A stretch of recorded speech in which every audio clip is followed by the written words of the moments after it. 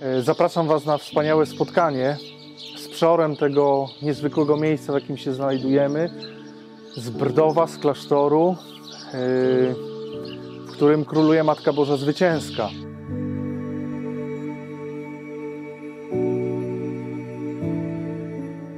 Zaraz otworzą się przed nami drzwi klasztoru i wyjdzie z nich, o jest z nami już, pewnie go poznajecie, ojciec Stanisław. Witaj. Cześć. Witaj ojcze. Ojciec jest tutaj przeorem yy, w Brdowie nad pięknym jeziorem. Ojcze, dobrze Ci widzieć, dziękuję Ci, że przyjąłeś nasze zaproszenie. No przecież ty tu pracowałeś. Pracowałem tu, prawda? To jest mój ostatni proboszcz przed ruszeniem w trasę z Matką Bożą, w pielgrzymowanie z Maryją. Po, pierwszy po archidiecezji poznańskiej, a teraz pie, peregrinujemy w archidiecezji gnieźnieńskiej. Ale jestem tutaj po to, dlatego że niedługo rozpoczyna się peregrinacja po diecezji wocławskiej. A ojciec Stanisław e, peregrynował, również był kustoszem ikony nawiedzenia po ziemiach polskich. Gdzie to było ojcze? To był 94 rok, diecezja gliwicka pół roku. O tym jeszcze powiemy, Tak, tak. bo to jest piękne doświadczenie. A później diecezja e, płocka, łowicka, warszawsko-praska 3,5 roku z Matką Bożą na trasie. To, duż, to dłużej niż ja, bo ja trzy lata na razie jeżdżę. Życzę Ci, żebyś pojeździł dłużej.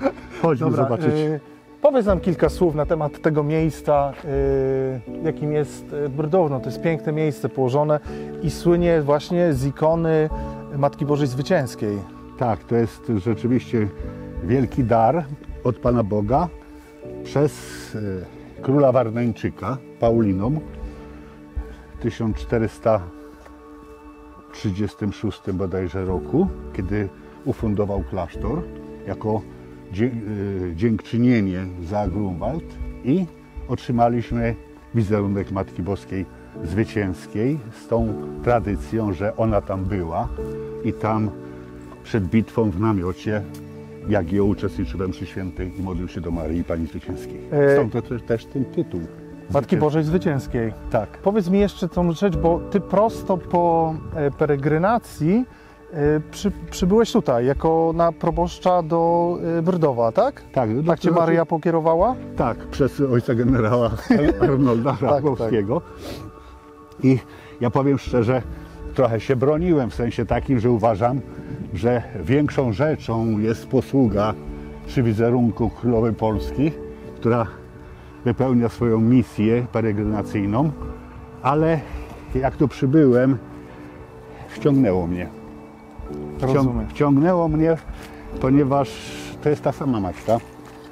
Ale pomogło ci e, to doświadczenie peregrynacji Bardzo. e, właśnie tutaj? Bardzo, bardzo dlatego, że kiedy byłem jeszcze w Częstochowie po pracy we Włodawie i dostałem e, zadanie być kustoszem wizerunku Matki Bożej i moja znajoma katechetka z Torunia, zresztą pozdrawiam, bardzo pobożna kobieta, pyta co słychać, nie odzywasz się. Ja mówię, wszystko dobrze, no to co, co się będę odzywał?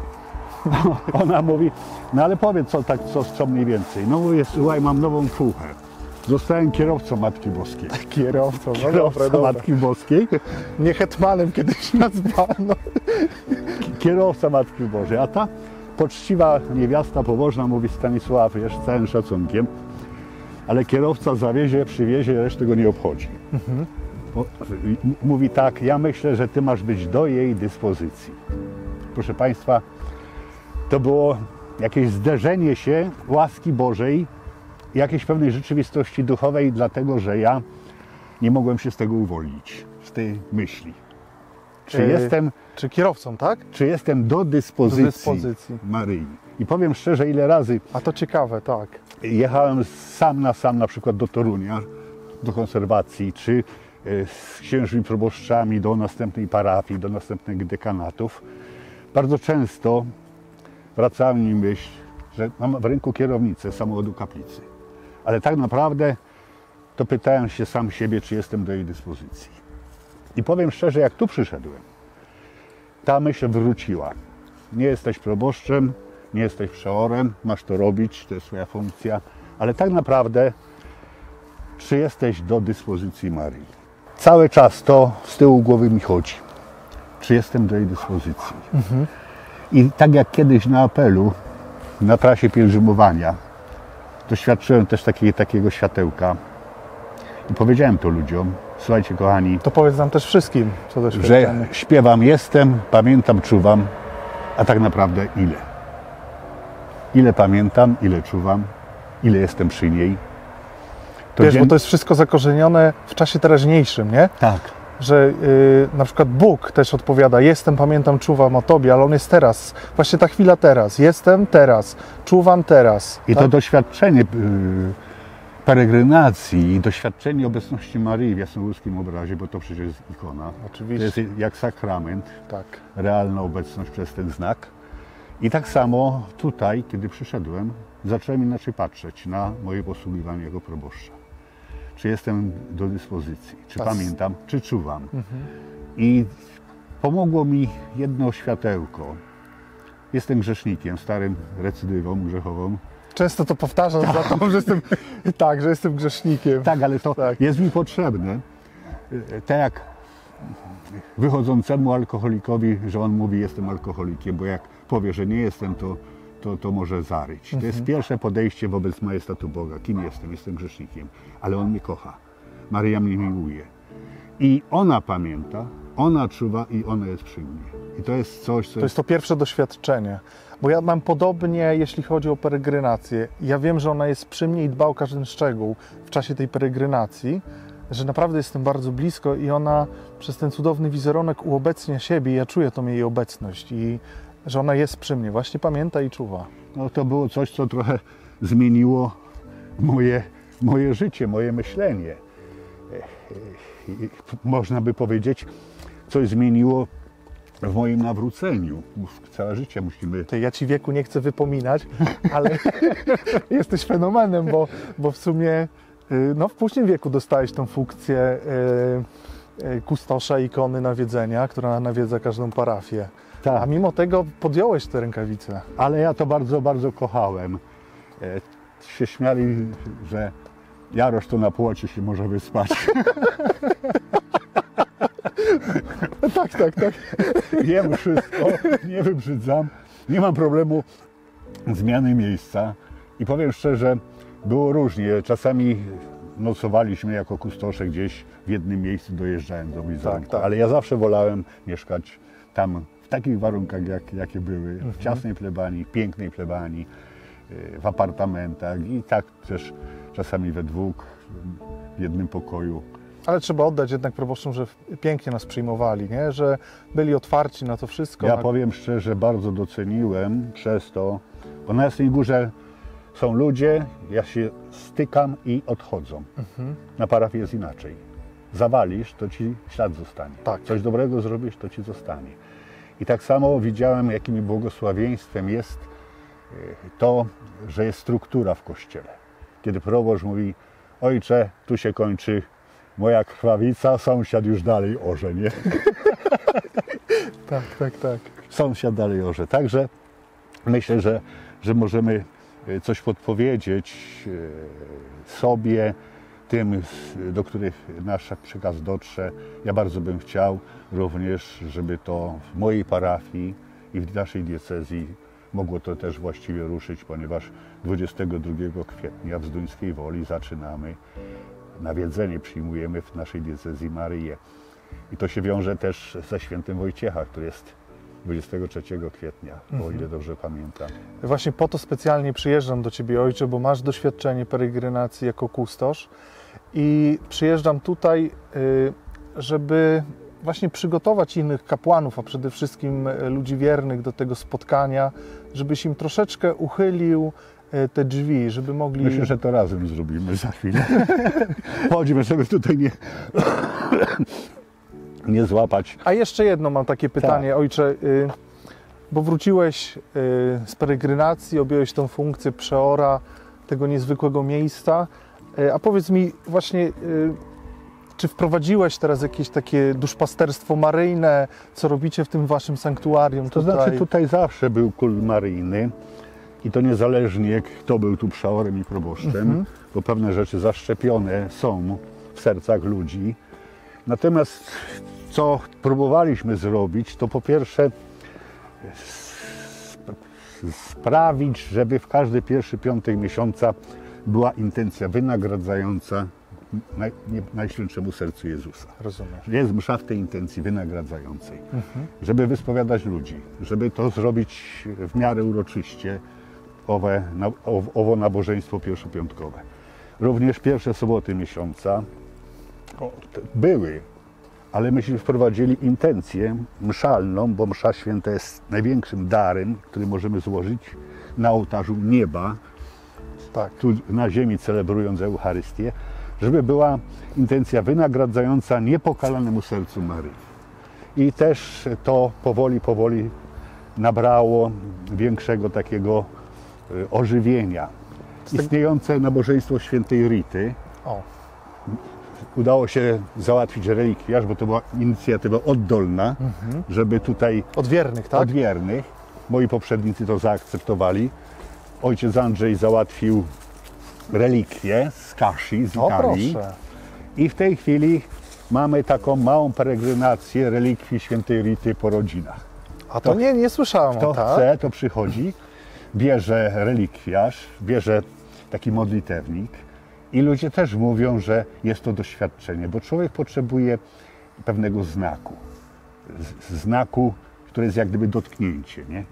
Znaku jak uklęknięcie. Kiedy, mówiąc, bo ja tak co jakiś czas chcę na wszystkich mszach świętych jakiś przekaz proboszcza dać i kiedy mówiłem dziękując ludziom, że nie udają, że ja nie lubię udawania, że jest plus, bo nie udają, że się żegnają, tylko robią to naprawdę. Tak, tak, tak. Nie udają, że klęczą, tylko, Tylko klęczą albo stoją, kto nie może. Natomiast często ludzie kłód- kłócają to- dzisiaj. To jest nagminne, też to zauważyłem. Tak, i to A przecież spadamy na kolana tylko przed Bogiem, nie? I wtedy ja mówię Tak. o sakrum i mówię wam, kochani, jest możliwość, to mi nie wyszło.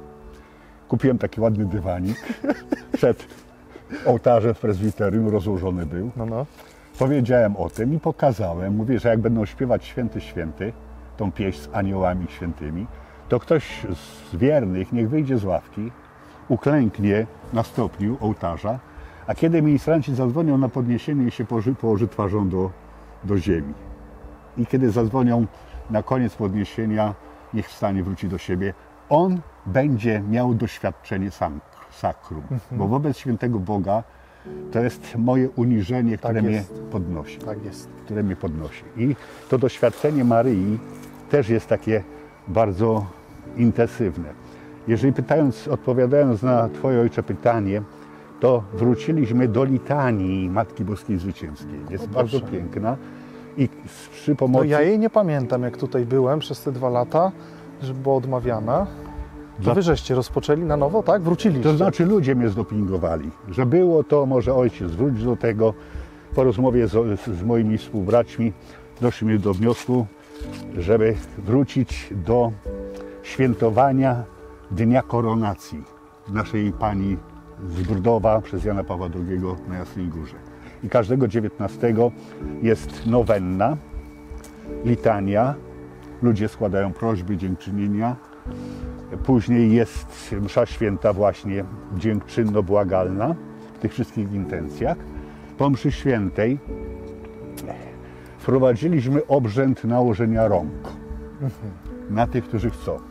Ludzie podchodzą, ponieważ jest prawdą, że jeśli ktoś choruje, cierpi, tak jak mówi święty Jakub, nie kapłani nałożą ręce. Tak. Nie? I ta świadomość moja też dzięki temu, że byłem z obrazem Matki Bożej, Właśnie, od razu do tego, bo zawsze jak jeździmy z, ma, z Matką Bożą po parafii, to jest msza święta dla chorych, cierpiących i ludzi starszych. Z namaszczeniem. I pamiętam, jak mi powiedziałeś, że mówiłeś do kapłanów, kładźcie swoje dłonie na ich po prostu głowach ludzi i módlcie się i namaszczajcie. Bo faktycznie oni namaszczają dłonie, ta, Tak. przy czoło i dłonie, a ja to zapamiętałem i też kładę te ręce, nie? Jako znak też uz, e, kapłańskich, znak Jezusa Chrystusa, który Tak, kładzie nas. apostołowie zawsze nakładali ręce, przekazując posługę apostolską, Tak, tak, nie? tak, tak. I ja odkryłem, że ten gest nałożenia rąk jest bardzo braterski. Kiedy kładziesz dłonie i patrzysz mu w oczy, a on patrzy w twoje, Tak, tak. to ja się czuję jakbym on myślał, że jestem lekarzem. Ale to wiąże e, pewną bliskość, dlatego że niektórzy ludzie, czasami się zdarzy, nagle się zasną, Tak. a niektórych jakby piorun strzelił i trzeba go łatać, łapać, żeby się nie pobił. I ktoś mi z kapłanów powiedział, działa duch Boży albo zły duch kogoś wali. Mhm.